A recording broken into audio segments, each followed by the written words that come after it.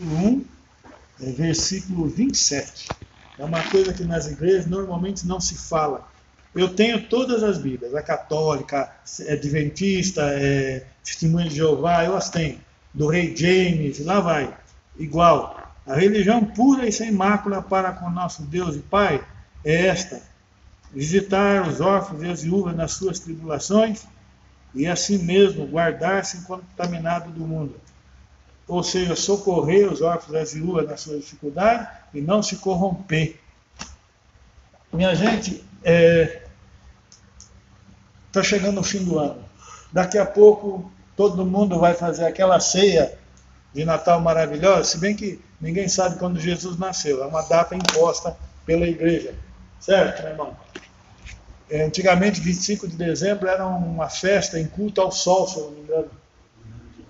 É, e foi adaptado e assim ficou e tal. Muitos não, é, não comemoram, mas de todo jeito, aquele espírito de fim de ano entra em todo mundo.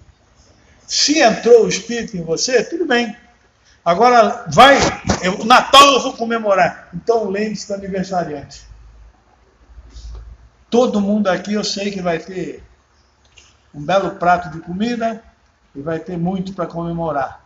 Vamos nos lembrar daquele que não tem. Faz um apanhado em casa de roupa, de coisa que você não usa mais, que está bom ainda.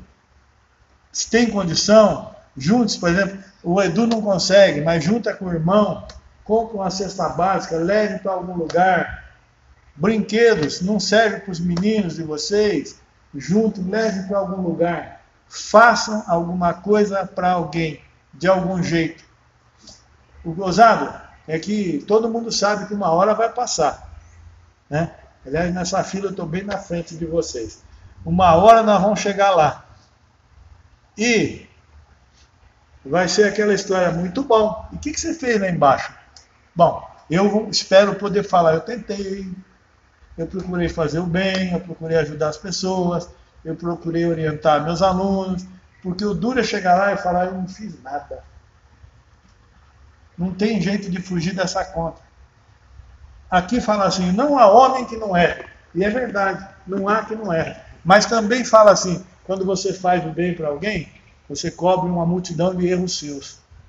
Então procure fazer alguma coisa. Procure fazer alguém feliz. E tem uma coisa que eu não li aqui, mas eu senti no coração, e uma vez eu estava pregando na igreja, e me veio aquela coisa. Você quer bênçãos na tua vida? Seja bênção na vida de alguém. Eu quero que vocês tenham um fim de semana maravilhoso. Está chegando o fim do ano e espero que todo mundo seja muito feliz, viu? Tá bom? Não saiam sem me abraçar.